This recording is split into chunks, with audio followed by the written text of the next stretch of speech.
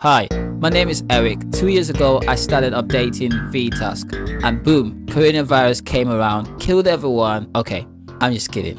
So the good news is VTask 2.5 is out. Everyone that's already had alliances for 2.2 has automatically been upgraded to 2.5 for free. Before I go into the new features, the website has been redesigned to cater for what I'm about to offer. So you can come to the site and get some free goodies, download templates from Cinema 4D to After Effects to Fusion to Houdini, 3D Max, name it, Maya. I'm all over the place. So here I've got different type of licensing going on. So now let's go back to the main issue, the reason why we're here. VTask 2.5.0. Load it up.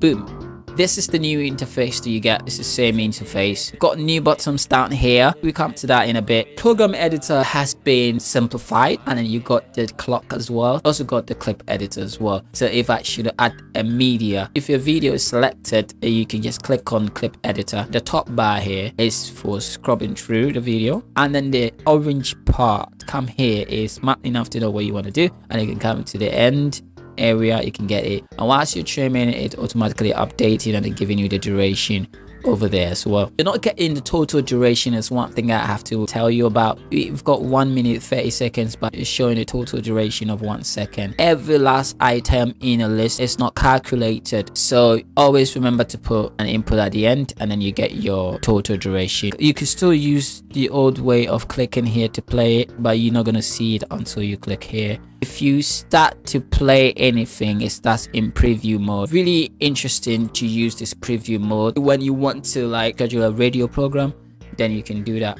24 hour schedule and the command so you can see Vita schedule function. And if you put it and it must be the first item on the list please. Don't try to put it anywhere else. If it's in auto mode and you start playing it will automatically change it to schedule mode. And if you double click on it you can schedule for every one day. Change the period to seconds so every one second. Nobody's gonna do that. Oh every one minute every one hour day or week. Just the basic setup for scheduling. That means the moment this play is gonna reschedule it for next day you know normally when you're in auto mode and then you click read time you can see that all the dates changes. There's two ways you can do the schedule. You can leave it this way or you can manually set the dates for each. If you go to schedule mode it locks the time in and it doesn't update and change the time for this and watch it. If i update it only that one changes. I'm gonna set everything to 10 seconds each to save time. So i'm gonna set it to like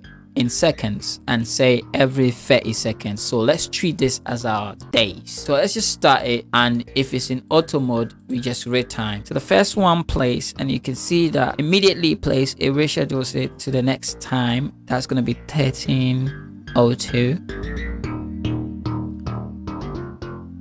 so let's see what that brings us. So the first one is ready to play again. So that's it. Guys this is gonna do it forever. So you can obviously go in there and change the settings to wherever it is. One thing i want to talk about let's go to vmix so i'll show you something. That was a bug when it was leaving the input after it's finished playing the whole list. If i was supposed to connect to vmix right now use api output start and read time. You can see that if we play the video uh, in vMix, vMix it, it, does it does remove the input, but before in VTask 2.2, when the clip finished playing and the playlist finished, or you stop it, is it always leaves the last input there, but that has been taken care of. So if you stop it now, it's gonna remove it, and automatically, if you are in API mode, then when you start it, it will automatically output the vMix NDI. And uh, if you were in NDI mode and you started it it will start the VTask output that you're in. When you're connected you can't preview. Vice versa when you preview you can't connect. Thanks for your time. Thank you for watching. Just go download it and give me a thumbs up